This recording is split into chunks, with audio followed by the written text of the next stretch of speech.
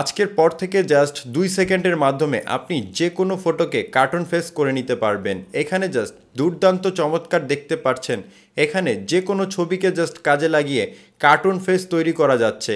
এখান থেকে আপনারা প্রিভিউ দেখলেই দেখতে পাচ্ছেন যে আপনি আপনার ছবিকে কত সুন্দর কার্টুন ফেস করে নিতে পারবেন।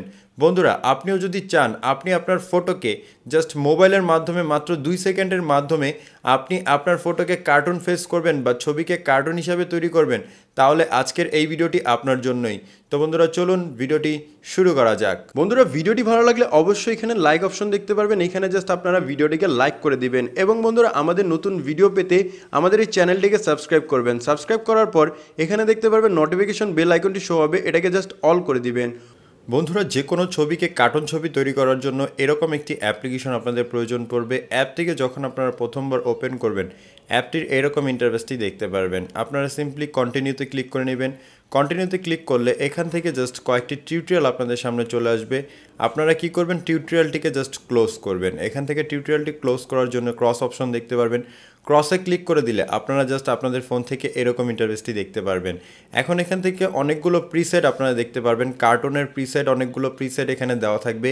যেগুলোকে চাইলে আপনি ইজিলি ইউজ করতে পারবেন। ইউজ করার জন্য সিম্পলি আপনারা কি করবেন? ইউজের ওপর ক্লিক করবেন।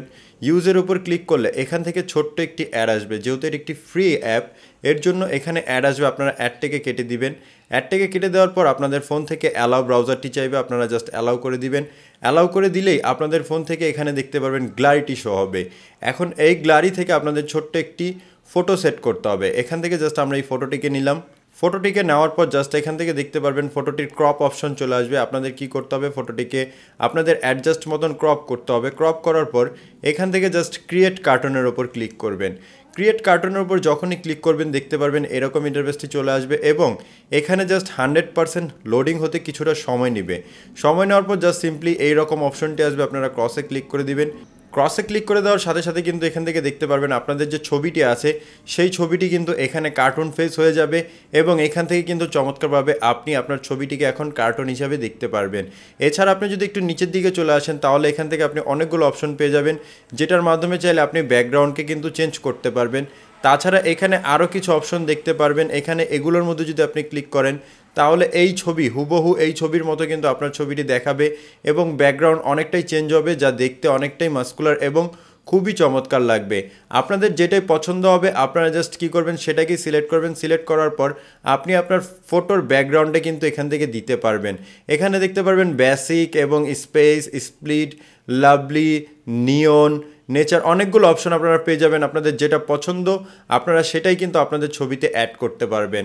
তো এখন জাস্ট দেখব কীভাবে এই ছবিটিকে জাস্ট আপনি আপনার গ্লারিতে সেভ করবেন। গ্লারিতে সেভ করার জন্য জাস্ট সিম্পলি আপনাদের এখানে টিক মার্কে ক্লিক করতে হবে। টিক মার্কে যখনই ক্লিক করবেন, আবারও এখান থেকে অ্যাড আসবে।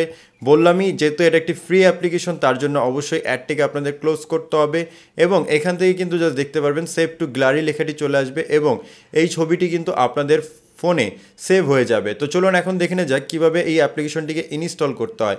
অ্যাপটিকে ইনস্টল করা একেবারে ইজি কাজ, আপনি প্লে স্টোরে চলে যাবেন দেন এখানে সার্চ করবেন কার্টুন কার্টুন লিখে সার্চ করলে এখান থেকে টুন অ্যাপ এই অ্যাপ্লিকেশনটি পাবেন এবং এই অ্যাপ্লিকেশনটির লোগোটি আপনি দেখতে পারবেন। এই অ্যাপটিকে জাস্ট আপনাদের একবার ডাউনলোড করে ইনস্টল করে নিতে হবে। তো এই ভিডিওটি আপনাদের কাছে কেমন লেগেছে তা অবশ্যই আমাদের কমেন্ট করে জানিয়ে যাবেন এবং এই ভিডিওটি ভালো লাগলে চ্যানেলটিকে সাবস্ক্রাইব করে রাখবেন। ধন্যবাদ।